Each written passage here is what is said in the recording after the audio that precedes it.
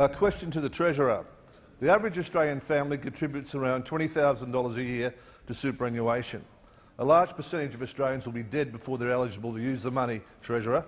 Will the government allow Australians the right to access part of their super to buy a home or to support their family in difficult times? What's the point of slaving for 50 years to never enjoy the benefits of your own hard work? The Treasurer has the call. Members on my right, the member for Deakin will cease interjecting. The Treasurer has the call. Thank you, Mr Speaker. I thank the member for his question, and I'm sure he's equally concerned about those who are uh, at the Queensland nickel plant, uh, where he's had some involvement in, in recent times. And I'm sure he must be very concerned about their entitlements and, and their future. I know that I, know that our member is. Uh, I think I know our member for Herbert is very concerned about those Queensland nickel workers, and I want to commend the member for Herbert for his outstanding work on their behalf.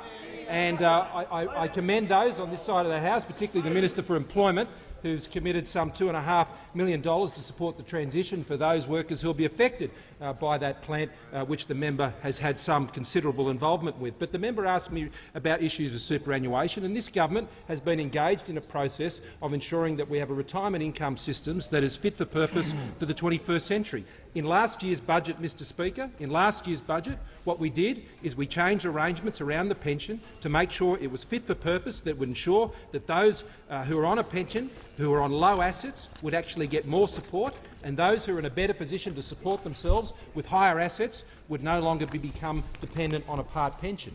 Now, Mr Speaker, when the Prime Minister took up office, um, he put the second phase of retirement incomes review really on that agenda, and the government has been working through the issues around superannuation. Now, the Assistant Treasurer uh, last week outlined, in response to the Murray review, that our superannuation system has to be fit for the purpose of ensuring that people are not dependent on a pension or a part pension as much as possible.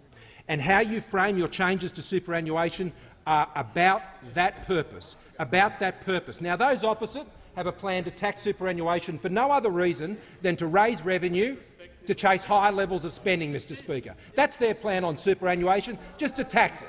There's, there's no plan in there to make superannuation better. There's no plan in there to make superannuation more flexible or to offer more choice. In fact, those opposite oppose choice Member in superannuation, Mr Speaker. Those opposite oppose uh, someone in their own employment in cases choosing their own fund into which their superannuation will go, Mr Speaker. Those opposite oppose the idea of having better governance of superannuation funds, Mr Speaker, and they oppose it. This side of the House is focused on delivering superannuation changes that are fairer, that are more flexible, that offer more choice, Mr Speaker, and that's what the government is working on, and we will continue to do that up to the budget, Mr Speaker, and we will make those announcements at the appropriate time. But superannuation is there to those Australians, the incentives that are provided to ensure that those who are at risk of being on a welfare payment, on a pension or on a part pension in their retirement can avoid being in that position, and that's what the government's measures will be designed to do.